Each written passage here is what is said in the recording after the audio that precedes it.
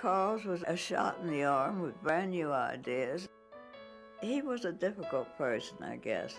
If he didn't like you, forget it.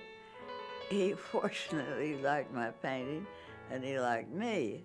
Carles told you where you succeeded and where you failed and why. But he didn't tell you what to do, ever, and he never touched your canvas. He thought Matisse was a bourgeois. he didn't like him particularly, but he loved his work. Carles never pursued fame. He couldn't care less.